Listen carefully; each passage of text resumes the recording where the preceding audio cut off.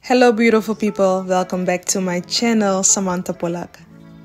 Today, I'm gonna show you how I do my edges since a lot of you have been asking me on Instagram how I get my edges laid and smooth because I'm silver. if you didn't know, now you know. but I understand that it can be a struggle because, yep, silver hair is not that easy to get smooth. So keep on watching to see how I do my edges. I washed my hair and I also have products in my hair already. I want my hair to be smooth and especially with silver hair, with these hairstyles, I find it much easier when my hair is soaking wet. In the shower, I put on some products and I will leave all the product details in the description box down below. This is what I used from olive oil. Definitely not the best product. The next day, my hair was super dry and it didn't have definition. So I will not recommend this product or you have to mix it with another product. After that, I use this styling gel from Cantu. I don't use gels that often, not even on my wash and goes. This is one of the three gels I own. um, so I'm not really a gel expert. If you have gel that works better on your hair, try that. Eco Styler gel will get the job done as well, but I didn't have Eco Styler gel in house. I apply the gel on my hair, only the parts you want to get smooth.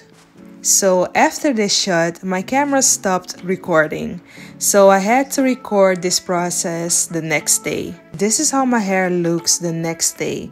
And that's why I said in the beginning of the video, don't use the ORS product on its own. I put my hair in a ponytail and now for the edges because this tutorial is about the edges not about the ponytail not about the hairstyle. It's about the baby hairs. This Mielle Organics honey and ginger edge gel.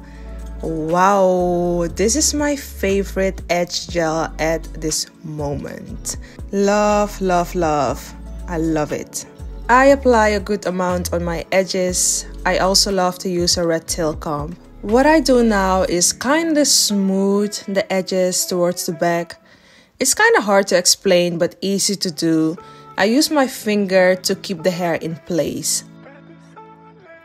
I use the comb to make the part sharper. I keep repeating this until this side is done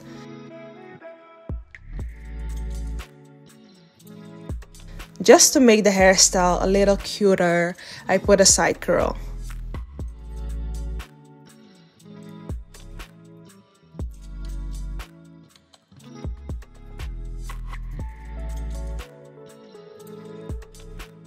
I do the same thing on the other side, so work with your fingers and work with a red tail comb.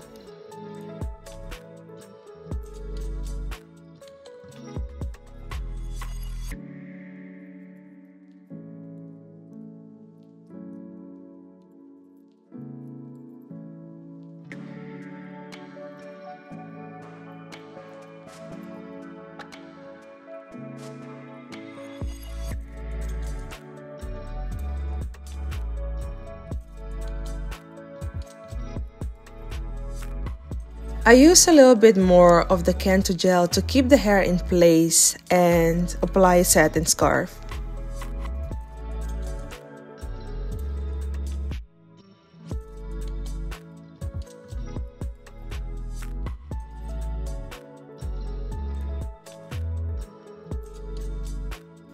After a few minutes, we're taking that off and voila! So cute, so cute. I use a hair pick. I pick the ponytail for a little bit more volume and we're done.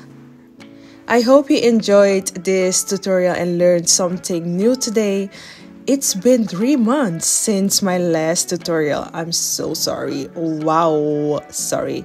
But I hope you enjoyed this video. Join the family, subscribe, share, comment. Until the next time. Bye.